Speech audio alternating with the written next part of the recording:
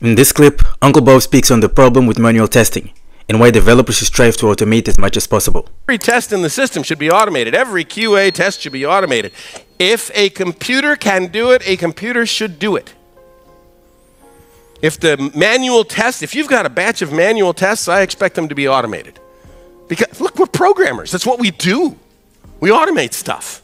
And you say, well, it'd be very expensive to automate the test. No, it's expensive to run the test. You see this picture here? The hands there are the hands of the QA manager. The year is 2008. He's holding out to me the table of contents.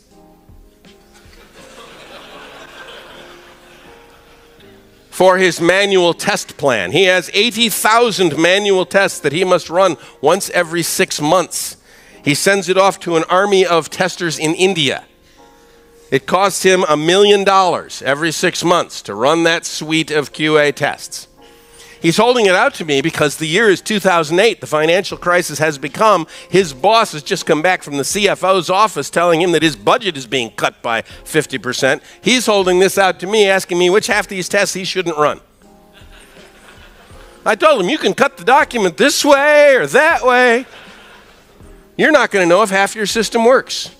This is the inevitable result of manual testing. Manual testing always leads to losing the tests. You will either, lo- either lose them this way, the big, big glaring way, when some accountant finally says this is too damned expensive, or you will lose them in a much more insidious way. And the insidious way is this the QA group doesn't have enough time to finish their tests because the developers are late. And the QA group now has to figure out which tests to run.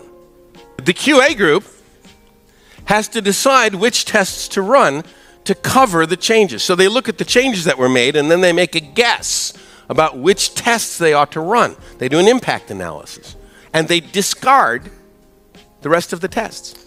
If the programmers knew they were doing that, the programmers would tap them on the shoulder and say, um, you really need to run all the tests. Because, you know, we changed virtually every line of code in the system. One way or another, if you're doing manual tests, you will lose those tests. On the rise of Superman, Steven Kotler speaks on immediate feedback and how it's the most important flow state triggers, the state in which we feel our best and perform our best. Manual testing, whether done by QA team or the developer, can disrupt the developer's flow state, significantly reducing productivity. By the time test results are received, the mental context has often shifted, making it harder to efficiently develop new features or fix bugs. Automated testing, especially if the tests are designed to run quickly, can not only keep the developer in the zone, but also lead them to it. Here is a short clip on immediate feedback as a flow trigger by Steven Kotler.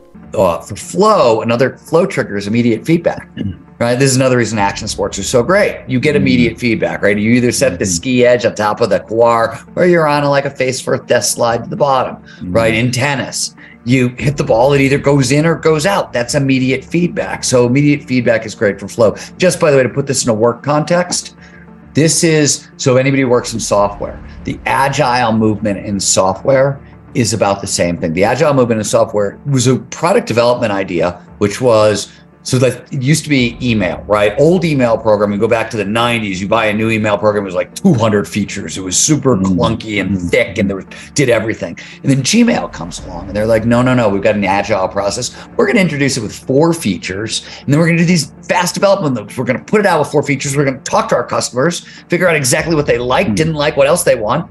And then we're going to build 2.0 and 3.0. And right. So that's fast feedback.